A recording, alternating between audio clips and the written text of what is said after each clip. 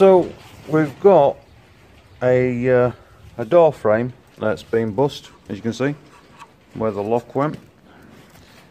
So I'm gonna, instead of buying a new door frame, I'm going to repair it. So what I've done, I've marked a 45 here and a 45 here and struck a line down, cut it out with my oscillating saw and this comes out.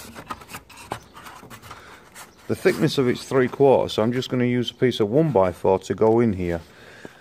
And I'm just going to glue it and pin it.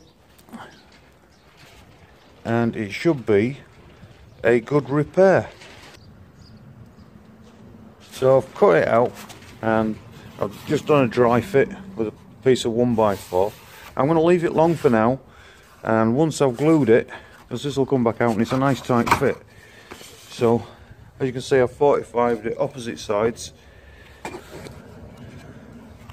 So it's a nice tight fit I'm going to glue it and uh, clamp it and then cut the excess off sand it up and we should be good. Okay so we've put the piece in cut the excess off so it's, it's flushed down sanded it up a touch and as you can see all glued in. I've screwed it on the existing door frame here at 45 degrees so it goes down that way. And the same at the bottom here.